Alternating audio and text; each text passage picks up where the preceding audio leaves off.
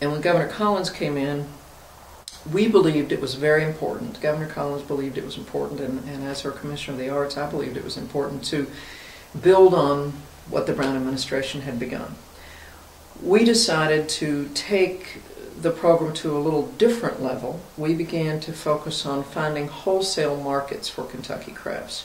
Phyllis George Brown had focused on trying to get retail outlets to focus on Kentucky crafts, to put them into um, high-end department stores, both in New York as well as um, we had one um, one initiative in Japan in that administration.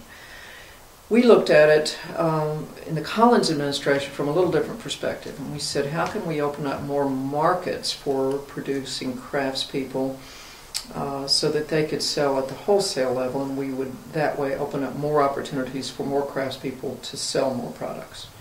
And we began to um, work with the existing craft staff. Fran Redmond was there at the time. She was terrific, and there was a great team on that craft staff, and they actually reported to me as Commissioner of the Arts.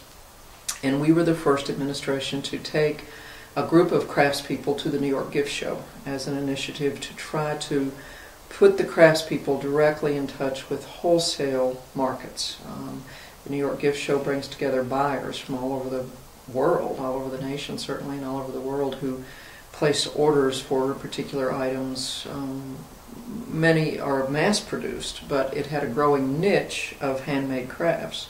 And we got involved in that on the ground floor, and we took a group of Kentucky craftspeople and coordinated the exhibit and planned the exhibit and the outreach in a way that really put Kentucky on the map in that arena. Governor Collins personally attended that first show and each of the shows where we took Kentucky craftspeople. So we put a real emphasis in the Collins administration on how could we take what the Browns have done, move it to another level, and to open up additional markets for Kentucky craftspeople. We combined with that um, a real uh, effort to to begin to give craftspeople opportunities for additional education and training in business practices, um, sales and marketing, um, how to really make their work more of an economic stimulus for their families and for the areas where they worked.